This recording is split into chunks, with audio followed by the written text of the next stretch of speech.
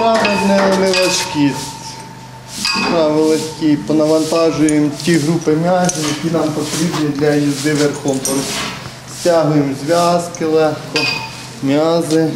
Інструктор з верхової їзди Руслан Лисенко показує дітям, як підготувати коня до поїздки. Мирославі 13 років. Вона із Запоріжжя. Дівчина сама вивела коня із конюшні і першою змогла покататися. Спочатку було страшно, а потім вже у кінці якось так вийшло і вийшло.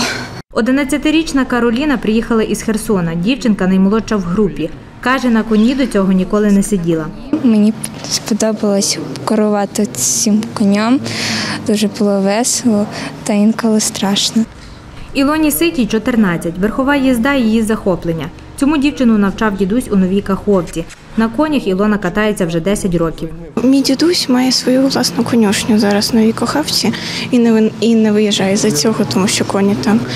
А він мене вчить катає з ну він відкрив конюшню, коли я народилася. Тернопільський Карітас започаткував проєкт Простір дружній для дитини від початку повномасштабної війни.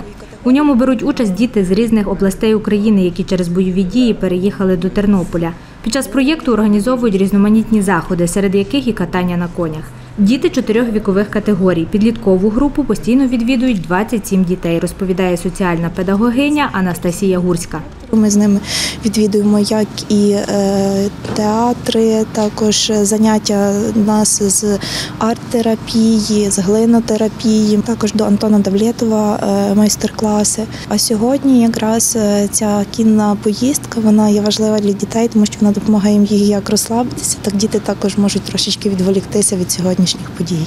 Іпотерапія допомагає стабілізувати емоційний стан дитини, має розслаблюючий ефект, зазначає психологиня Тетяна Гончар. Найчастіше з проблем, які бувають у дітей-переселенців, перше це е, проблеми пов'язані з е, переїздом в інше місто. Тобто їм потрібна нова адаптація до нових умов. Це проблеми пов'язані з втратою речей, з втратою будинків, коли вони залишаються без того, що вони надба- дбали про все, все своє життя. Е, Травми пов'язані з втратою одного з батьків або обох батьків, з втратою родичів, а також переживання пов'язані з тим, що хтось з е, батьків є, е, є на війні. Ганна Кісіль, Оксана Галіяш, Суспільне новини Тернопільщина.